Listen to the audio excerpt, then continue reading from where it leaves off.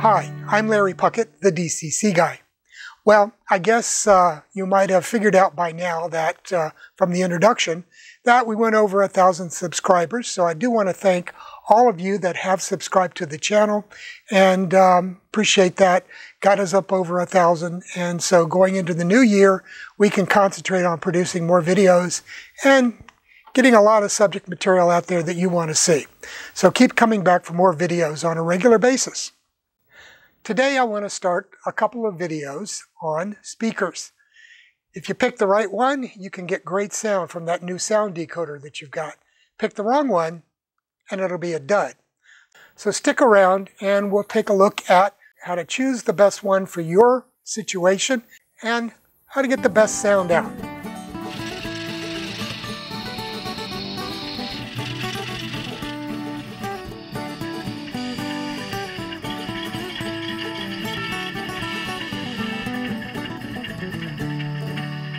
So what I have here for you is a selection of different type of speakers to give you an idea of what is available out there on the market and uh, for your uh, specific installations. Now, probably the most popular or most common one in use is this one inch round uh, speaker. These have been available for 25 plus years for sound installations. Um, but um, uh, the quality of the speakers have, has increased greatly during that time. Um, this particular one is a TCS uh, speaker. It's 28 millimeters in diameter, 1.1 inches, and uh, it comes with this. you can get this enclosure for it. You can see it's a, uh, a, a plastic enclosure. It has two holes here on the, the back of it for running wires through so that you can either mount it with the cones facing out or you can mount it with the cone facing inward. I kind of like doing it this way because it does protect the cone uh, during the installation process and, and just, you know, from rubbing wires against things of that nature. Now you'll note here that on the side of the uh, speaker we have two little silver dots. These are the uh, two solder points for the wires coming from your sound decoder. So that's all they are. They are a couple of uh, drops of solder. So it's already pre-tinned for you. And you just tin your wires and hit them right there and you're done. Um, it's always a good idea when you install a speaker in an enclosure like this to use some sort of adhesive to go on the back and seal it into the uh, enclosure. Uh, that for one thing, keeps it from falling out in case you mount it upside down. But it also seals the uh, speaker as well. So you do want to get these sealed up tightly. Now, one thing that you should remember is there is a, a little rim here, and um, you can purchase, uh, Soundtraxx sells little uh, gaskets that go on these rims to seal them in, or you can just use a little bit of super glue on the uh, rim itself and then pop it into place and you've got a good airtight seal hopefully uh, that will allow the sound uh, from only one side of the speaker to be uh, to be emitted. And I'll uh, I'll talk more about that in the next video about why that is so important. So that's pretty straightforward and this nice little enclosure these are available from TCS uh, to go with WOWSound decoders in particular but decoders in general. Okay, another very popular uh, type are these oval-shaped uh, speakers. And you can see uh, they're very similar here. These are basically 8 ohm, 1 watt uh, speakers, and they have two solder dots here on the back for attaching the wires here. And one thing I commonly will do with a lot of my speaker installations is attach a short length of wires to each pad and then add a connector here so that I can disconnect the uh, speaker if I need to. One reason that these are so popular is that, um, or have been so popular anyway in the past, is that they are narrow enough so they fit in the hood of most uh, diesel units. Uh, so they, they, they're great for that. You can just uh, use a piece of double foam, double-sided foam tape and stick it to the inside there of the uh, shell, and it's perfect fit for it. Now, Another type of these oblong oval type speakers are these uh, bass reflex speakers. If you note right here, there is an oval cutout right here in the uh, face of the speaker enclosure. And that design, the way that this is designed internally, it enhances the, uh, the uh, low frequency output, the bass output. So these are great for, you know, steam locomotive installations. They'll fit inside of a tender quite nicely. Um, they're not going to fit in most uh, HO diesel units unless you've got uh, a dummy unit that you want to uh, install it in, maybe. But they're designed specifically to put out uh, a much higher bass volume. Okay, and so they're great for that. These here are a neat design. I got most of these, I think, from Railmaster Hobbies. Um, they have sort of a rubber-like uh, diaphragm here, and then a metal uh, cone. I think that's aluminum cone here in the center, and they are uh, they're designed specifically like the other uh, bass reflex speakers to enhance the bass volume, okay, the bass output. This particular one is the 28 millimeter QSI uh, uh, speaker, and it uh, it's rated at 8 ohms and 2 watts. And I'll get into that in the next video as to what's important about the wattages. And you can see here there's uh, contacts for soldering the wires on either side here. And these can be installed this way or this way. Okay? And they come in various sizes. That's a, a one inch, roughly 28 millimeter, 28 millimeter round. And this one I think is about uh, somewhere between half and three quarters of an inch. So you can get these for a number of different types of installations. And they work great in steam locomotives because of that bass. If you put in a uh, decoder and it has one of those uh, steamboat type whistles, oh man, the sound out of this is just great. It gives that low bass sound that is so nice on uh, a steam locomotive. And somewhere on the, on the channel, I have videos where I showed and, and gave examples of how these uh, sounded with a typical round uh, speaker and one of these bass reflex speakers.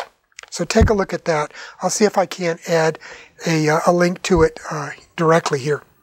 Okay, let me put these out of the way.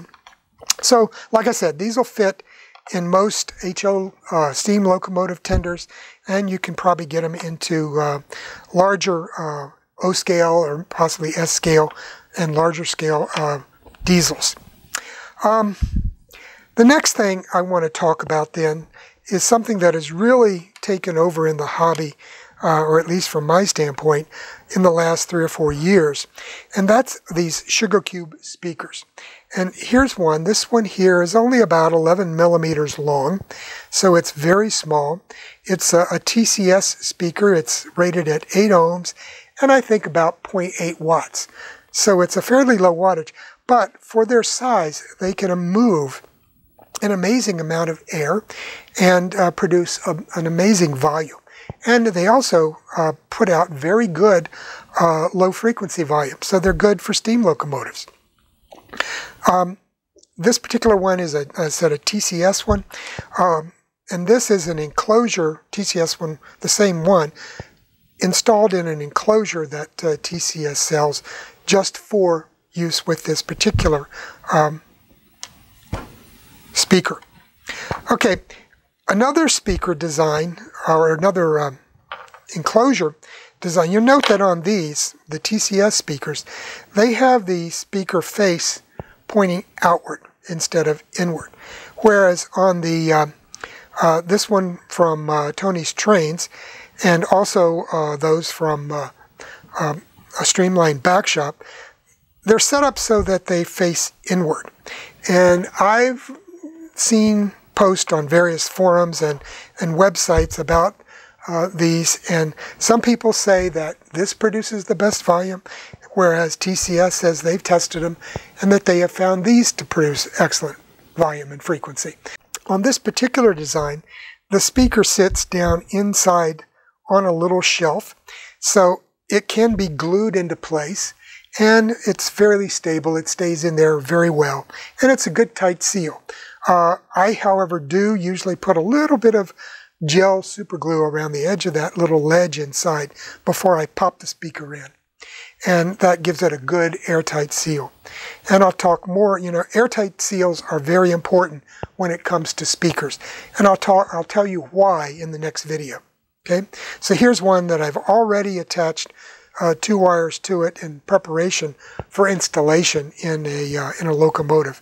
So they they'll grow. These things will go into a lot of locomotives. I now uh, regularly attempt installations in locomotives that I previously never would have attempted to install a sound decoder in, simply because these things will fit just about anywhere.